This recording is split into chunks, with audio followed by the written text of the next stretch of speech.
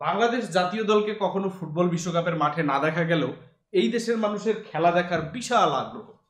আমার মনে আছে, আমরা যখন ছোট ছিলাম তখন ফুটবল বিশ্বকাপের সময়ে ছেলে বুড়ো সবাই মিলে স্কুল, কলেজ, কাজকর্ম ফেলে দিয়ে আমরা একসাথে ফুটবল খেলা দেখতাম। এমনও হতো যে সিআরটি মনিটরের সাথে টিভি বক্স দিয়ে আমরা খেলা দেখছি। মনে আছে, প্রিয় দলের পরাজয়ে টিভি আছাড় দিয়ে ভাগার মতো কিছু ঘটনাও আছে। ধীরে ধীরে ফুটবলের জনপ্রিয়তা তো কমেই নাই, বরঞ্চ বেড়েছে আরও বহুগুণ। বাংলাদেশে বেশ কিছু ফুটবল বিষয়ক ফেসবুক গ্রুপ এখন রয়েছে। যেমন রিয়াল মাদ্রিদের দুইটা গ্রুপ আছে। একটা হচ্ছে অল হোয়াইটস বাংলাদেশ একটা হচ্ছে লস ব্লাঙ্কোস দুইটাই লাখের উপরে মেম্বার তো সবাই মিলে খেলা দেখার ব্যাপারটা আরও এক্সপোনেনশিয়াল হারে বেড়ে গেছে। টিভির সাইজও বেড়েছে বহুগুণ চল্লিশ, পঞ্চাশ থেকে শুরু করে সত্তর, পঁচাত্তর ইঞ্চি টিভিও আছে। এগুলো হয়তো ফ্যামিলির কয়েকজন মিলে খেলা দেখার জন্য more than good enough but যখন আপনি পুরো গ্রুপ নিয়ে ফ্রেন্ড সার্কেল নিয়ে পঞ্চাশ, একশো জন খেলা দেখতে যাবেন, তখন কিন্তু প্রজেক্টর খুব কাজে লাগে। দেখতে দেখতে আরেকটা ফুটবল বিশ্বকাপ একদম কাছাকাছি চলে এসেছে। ফুটবল বিশ্বকাপের কথা মাথায় রেখে আমাদের সাথে আছে একটা প্রজেক্টর সেটা হচ্ছে বেনকিউ ইএক্স সিক্স হান্ড্রেড এটার দাম সিক্সটি থাউজেন্ড টাকা। আজকে আমরা এই প্রজেক্টরটা সেট আপ করব এবং প্রজেক্টর দিয়ে খেলা দেখতে বা লার্জ স্ক্রিনে কোনো কাজকর্ম করতে কি ধরনের এক্সপিরিয়েন্স হয় আর কোন কোন জিনিস খেয়াল করা দরকার, সে ব্যাপারগুলো নিয়ে বিস্তারিত কথা হবে। আপনাদের সাথে আছে আমি Ananya Zaman. Welcome to builder Bangladesh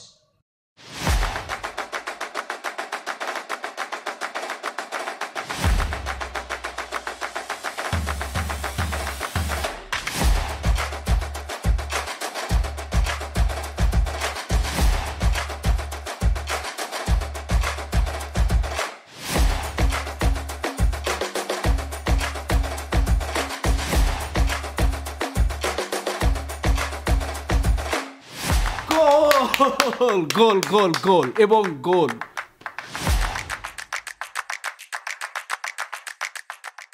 দুই হাজার দুই ফুটবল বিশ্বকাপের সময় আমার মনে আছে, আমি রোনালদো লিমার মতো তিন কোনা চুলের কাট দিয়েছিলাম। তো ফুটবলের সেই ক্রেজটা কিন্তু এখনও কমে নেই চলুন, ভিডিওর শুরুতে আমরা প্রজেক্টরটা আনবক্স করে দেখি, এর ভেতরে কি কি আছে, এবং এই প্রজেক্টরটা আবার একটা স্মার্ট প্রজেক্টর একটা প্রজেক্টর কি করে স্মার্ট হলো, সেটা একটু টেস্ট করে দেখা যায়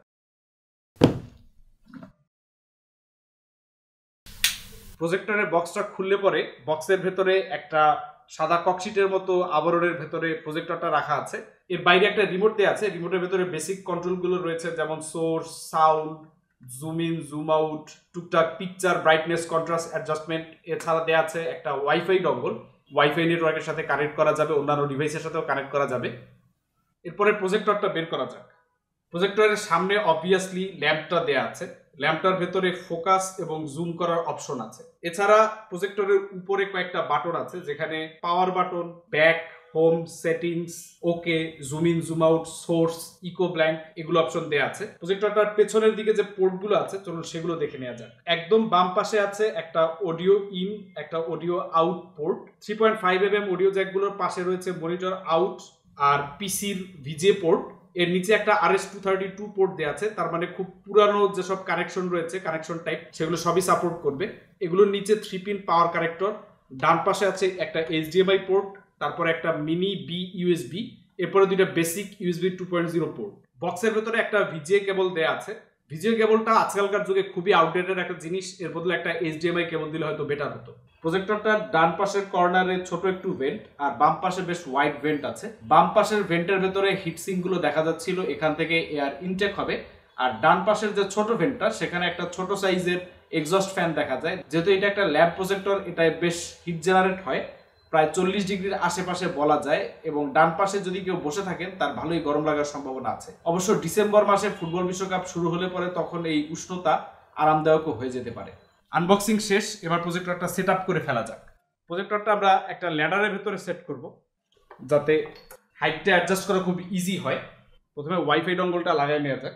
পেছনে এই কাভারটা খুলে এর ভেতরে একটা হিডেন ইউএসবি পোর্ট আছে। ধরেন আপনি আউটডোরে প্রজেক্টরটা সেট আপ করে খেলা দেখতেছেন, এলাকার কোনো দুষ্টু ছেলেমেলে আপনার ওয়াইফাই ডঙ্গলটা খুলে নিয়ে গেল। এই ঝামেলা থেকে বাঁচার জন্য এইভাবে লুকায় রাখা পসিবল এরপর এই কাভারটা দিয়ে এটাকে ঢেকে দেওয়া যায় এরপরে পাওয়ার কেবল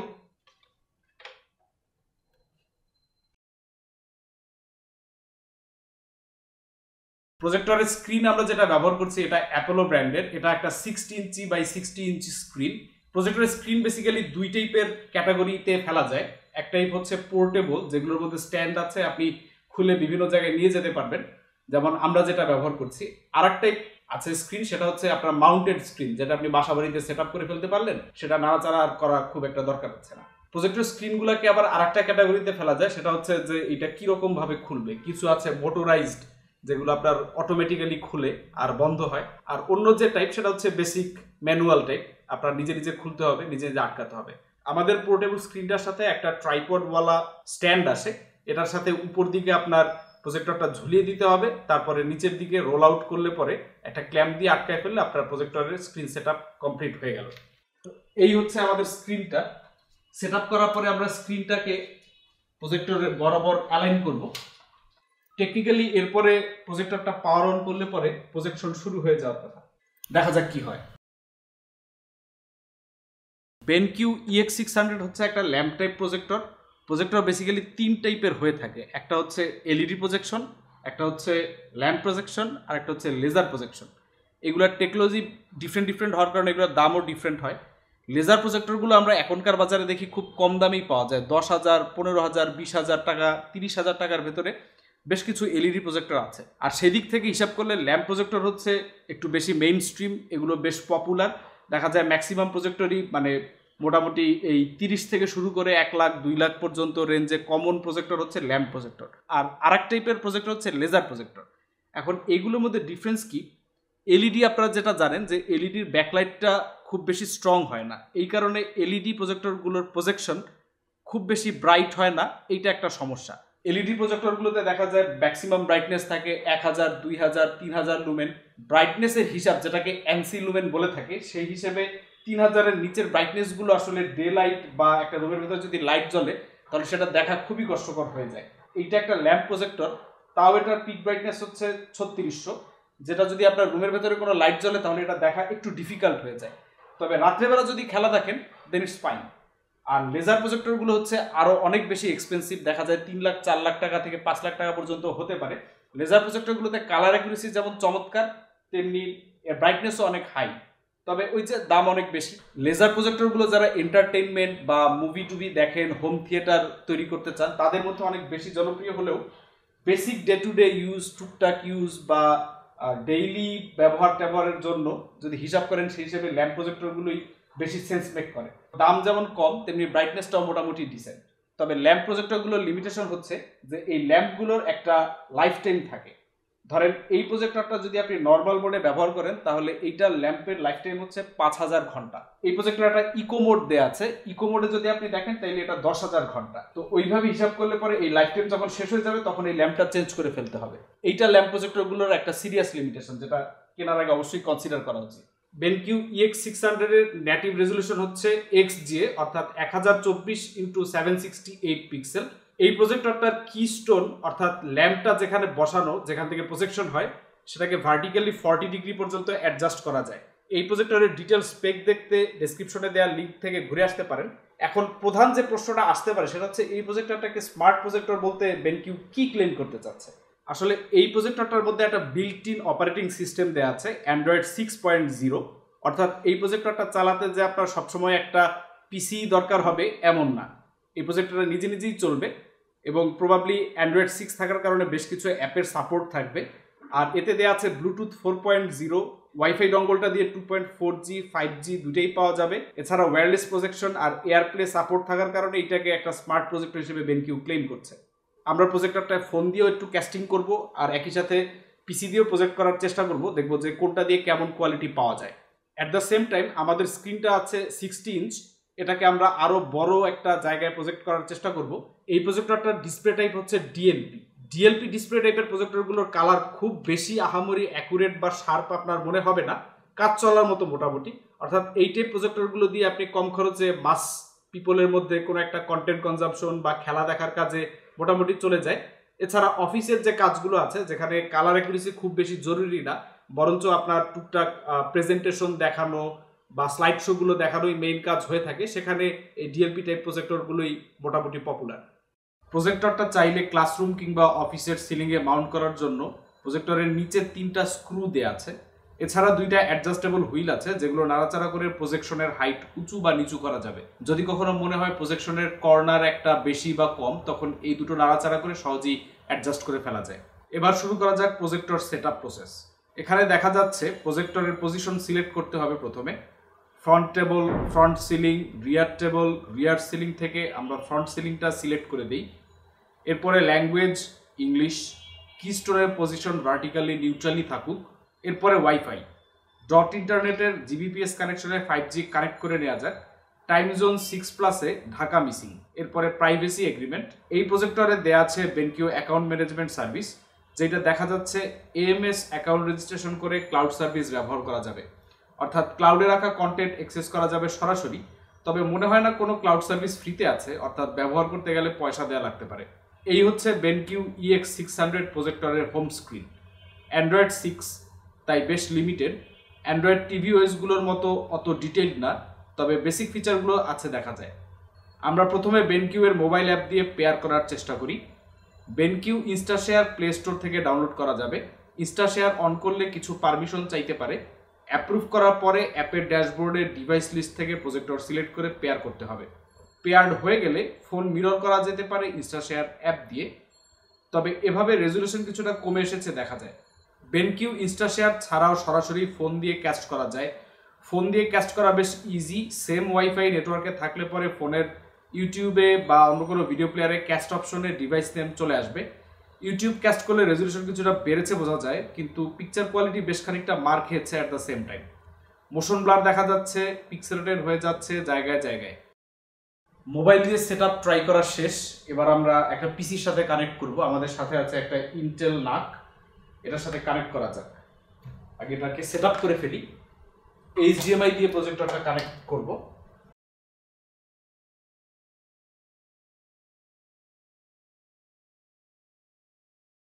পিসিতে কানেক্ট করার পরে রেজুলেশন একটু বেটার পাওয়া যাচ্ছে। অর্থাৎ ফোন দিয়ে ক্যাস্টিং করা বা কোনো কন্টেন্ট ওয়াচিং সম্ভব বটে, কিন্তু ভালো রেজুলেশন এবং পিকচার কোয়ালিটি পেতে গেলে পিসি দিয়েই বেটার আউটপুট পাওয়া যাচ্ছে। আসলে পিসিতে কানেক্ট করার পরে পিকচার কোয়ালিটি রেজুলেশন শার্পনেস সব কিছুই অনেক অনেক ইমপ্রুভড তার মানে প্রপার পিকচার কোয়ালিটি পেতে গেলে অবশ্যই পিসিতে কানেক্ট করে বা ল্যাপটপে কানেক্ট করে নেয় বেটার এটা গেল সিক্সটি ইঞ্চ স্ক্রিনের test BenQ EX six hundred sixty inch থেকে ওয়ান এইট্টি ইঞ্চ পর্যন্ত লার্জ স্ক্রিনে ব্যবহার করা যায়। তো আমরা আরেকটু লার্জার স্ক্রিনে ব্যবহার করে দেখব যে কি হয়। আসলে সিক্সটি ইঞ্চি টেলিভিশনই তো আজকাল পাওয়া যায়। যদিও টেলিভিশন আউটডোরে নিয়ে যাওয়াটা এখন খুব একটা রিয়েলিস্টিক মনে হয় না। তবে তারপরেও আরেকটু বড় স্ক্রিনে প্রজেক্টরটা সেট করলে কেমন দেখায়? চলুন টেস্ট করে দেখা যাক। এই যে স্ক্রিনটা আছে, এইটা ডেফিনেটলি সিক্সটি ইঞ্চির থেকে বেশ খানিকটা বড়। আশি ইঞ্চি থেকে নব্বই ইঞ্চির মতো হবে বলে আমার ধারণা। তো এটা বেসিক্যালি আমাদের স্টুডিওর ব্লাইন্ড কিন্তু ভালোই স্ক্রিনের কাজ করতেছে। এখন ম্যাচ যেটা আমরা দেখতেছি, এটা হচ্ছে Real Madrid versus Man City Champions League সেমিফাইনালের সেকেন্ড লেগের ম্যাচ এই ম্যাচের লাস্টের কয়েক মিনিটে রিয়াল মাদ্রিদ তিনটা গোল দিয়ে সিটিকে সেমিফাইনাল থেকে আউট করে দেয়। তো বেশ চমৎকার এক্সপেরিয়েন্স এই যে এই মোটামুটি স্ক্রিনটার সাইজ একশো আশি ইঞ্চি পর্যন্ত বড় করা যায় মানে আরও অনেক বড় স্ক্রিনে এইটাকে প্রজেক্ট করা যাবে। এবং এখন কিন্তু শার্পনেস মোটামুটি ভালোই বলা যায়। গোল গোল গোল গোল এবং গোল। প্রজেক্টরটায় বেশ কয়েকটা পিকচার মোড রয়েছে। এর মধ্যে ডিফল্ট দেওয়া থাকে presentation infographic video sRGB custom user one two bright এই প্রোফাইলগুলো রয়েছে। এগুলোর মধ্যে এসআরজিবি আর ভিডিও মোডে কালার অপেক্ষাকৃত বেটার পেয়েছি। এছাড়া ব্রাইটনেস আর কন্ট্রাস্ট কাস্টমাইজ করা যায়।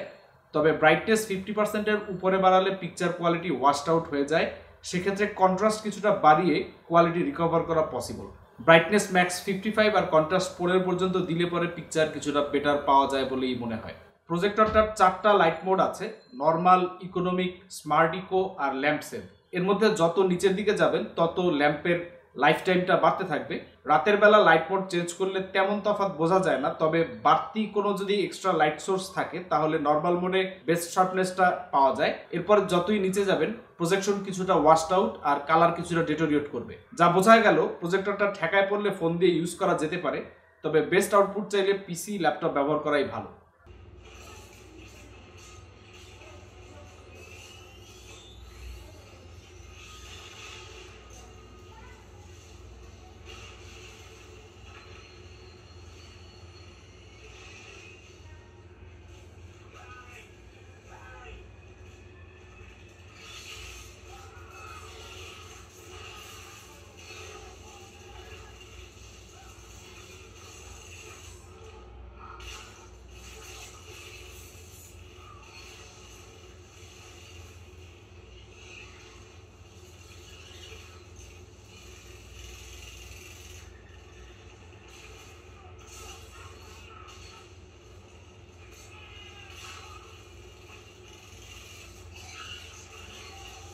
তো প্রজেক্টরটা নিয়ে এটা মোটামুটি আইডিয়া পাওয়া গেল। এইবার চলুন দেখে নেওয়া যাক এক নজরে এই প্রজেক্টরটার সুবিধাগুলো। নাম্বার ওয়ান এটার ব্রাইটনেস হচ্ছে ছত্রিশশো লুমেন যেটা এই রেঞ্জের প্রজেক্টরের জন্য একটা ডিসেন্ট অ্যামাউন্ট মোটামুটি ব্রাইট একটা প্রজেকশন পাওয়া যায়। বিল্ট ইন ওয়েস থাকার কারণে এটা সেট করা এবং কন্ট্রোল করা যথেষ্ট সহজ। আমার মনে হয় যে ধীরে ধীরে টেকনোলজি যেদিকে যাচ্ছে, এখন থেকে মোটামুটি সব ধরনের প্রজেক্টরগুলোতেই এই টাইপের একটা মিনিমাম ওয়েস থাকা উচিত। ইনফ্যাক্ট যেগুলো একটু দামি প্রজেক্টর লেজার টাইপ সেগুলোর মধ্যে অনেকগুলোতে একদম ডিরেক্ট অ্যান্ড্রয়েড টিভি ওয়েস দেওয়া থাকে, যেগুলো ব্যবহার করা অনেক বেশি সুবিধাজনক অ্যাপ ট্যাপ চালানো স্ট্রিমিং সার্ভিস চালানো, অনেক বেশি মডার্ন এবং আধুনিক। নাম্বার থ্রি মোবাইল দিয়ে ইজিলি ক্যাস্ট করা যায়। মোবাইল দিয়ে ব্যবহার করা সবসময় রেকমেন্ডেড না হলেও ধরুন কখনো এমন হলো যে আপনার অফিসের মধ্যে একটা প্রেজেন্টেশন দিতে হচ্ছে, যে কোনো কারণে আপনার কাছে একটা ল্যাপটপ বা পিসি মিসিং যদিও ভেরি আনলাইকলি এ ধরনের একটা সিচুয়েশন হবে। তারপরে যদি হয়ে যায়, আপনি ফোন দিয়ে ক্যাশ করতে পারেন। তবে সেক্ষেত্রে আপনাকে কিছুটা পিকচার কোয়ালিটি ছাড় দিতে হবে। এইবার এই প্রজেক্টরটার কনস অর্থাৎ অসুবিধাগুলো। প্রথমত, এইটা একটা ল্যাম্প প্রজেক্টর সব ল্যাম্প প্রজেক্টরের মতো এটার ল্যাম্পেরও একটা লাইফ টাইম আছে। যখন এটা শেষ হয়ে যাবে ইভেনচুয়ালি আপনাকে ল্যাম্পটা চেঞ্জ করে ফেলতে হবে। নাম্বার টু কালার অ্যাকুরেসি এই ধরনের প্রজেক্টরগুলোতে লেজার বা এলইডি প্রজেক্টর থেকে কালার অ্যাকুরেসি কিছুটা কম থাকে। এটাই এই টাইপ ক্যাটাগরির জন্য স্বাভাবিক। তবে যদি পিসি দিয়ে এটা চালানো হয়, তাহলে একটা কাজ চলার মতো কালার পাওয়া যায়। কিন্তু মোবাইল দিয়ে চালালে পরে একদমই বেশি বাজেট অনুযায়ী বেনকিওর এই মনিটরটা ডিসেন্ট বলা যায়, এখান থেকে এক্সট্রাঅর্ডিনারি কিছু এক্সপেক্ট করা ঠিক হবে না। এই প্রজেক্টরটার মেইন সেলিং পয়েন্ট হচ্ছে সিক্সটি থাউজেন্ড টাকা আপনি একটা হিউজ স্ক্রিনে ধরেন একশো থেকে শুরু করে একশো আশি ইঞ্চি পর্যন্ত একটা বড় জায়গায় আপনি খেলা বা কন্টেন্ট কনজাম করতে পারবেন। কম্পারেটিভলি সিক্সটি থাউজেন্ড টাকা আপনি বড় জোর একটা ফিফটি ফাইভ ইঞ্চ টেলিভিশন পাবেন। তো সেই তুলনায় এই প্রজেক্টর দিয়ে অনেক বেশি স্কেল করা যাবে। তবে অবশ্যই একটা টিভির পিকচার কোয়ালিটি অনেক অনেক বেশি বেটার হবে কম্পেয়ার টু এ প্রজেক্টর এই ভিডিওটা বানাতে গিয়ে প্রজেক্টর নিয়ে বেশ খানিকটা ঘাটাঘাটি করার সুযোগ হয়েছে। সামনে একটা বিশদ ভিডিও বানানোর ইচ্ছা আছে যে প্রজেক্টর কিনতে গেলে কোন কোন বিষয়ে মাথায় রাখতে হবে যাতে চুনা খাওয়া না লাগে। আশা করি সামনে আরও খুব ইন্টারেস্টিং কিছু প্রজেক্টর নিয়ে ভিডিও বানানোর সুযোগ পাবো। আই মিন প্রজেক্টর হাতে পাওয়া যাবে। এই ভিডিওটার স্ক্রিপ্ট তৈরি করার জন্য ধন্যবাদ জাহিনকে এবং টেস্টিংয়ের জন্য থ্যাঙ্কস অরিক নাদির তৌফিক, জিহানকে। দেখা হবে সামনে কোনো ভিডিওতে। আজকের মতো আল্লাহ হাফেজ।